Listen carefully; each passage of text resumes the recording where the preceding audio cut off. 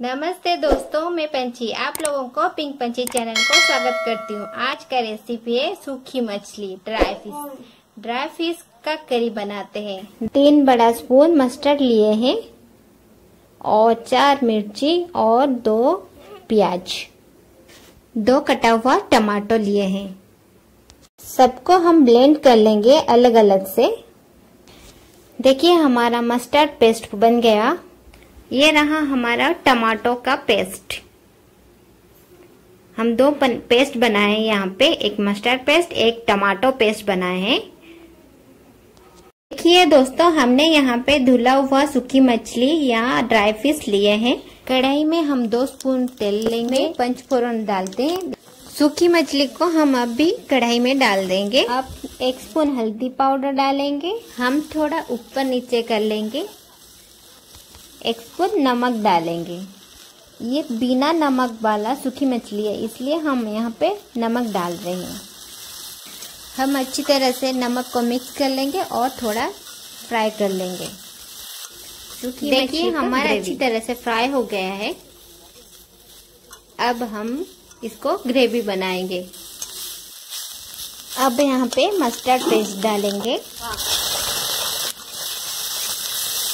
अच्छी तरह से मिक्स कर लेंगे। दो मिनट तक हम इसको पकाएँगे। अब टमाटो का पेस्ट यहाँ पे डालते हैं। इसको दो मिनट तक ऊपर नीचे करेंगे। अच्छी तरह से मिक्स कर लेंगे। देन थोड़ा सा पानी देंगे यहाँ पे। हाफ़ गिलास पानी देंगे।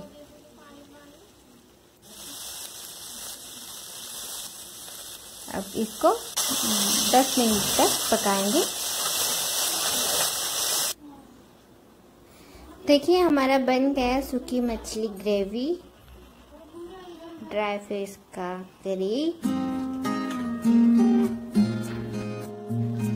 आप भी बनाइए टेस्ट कीजिए और हमें कमेंट कीजिए।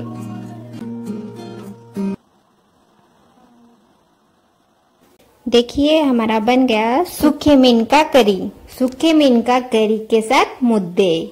कॉम्बिनेशन आप भी टेस्ट कीजिए और बताइए, कैसे लगता है मुद्दे के साथ सूखे मीन का करी? ड्राई फ़िश आपको कैसे लगता है, हमें भी कमेंट कीजिए। मुद्दे सबके लिए बहुत अच्छा होता है, बहुत सारा कैल्शियम होता है। Thank you for watching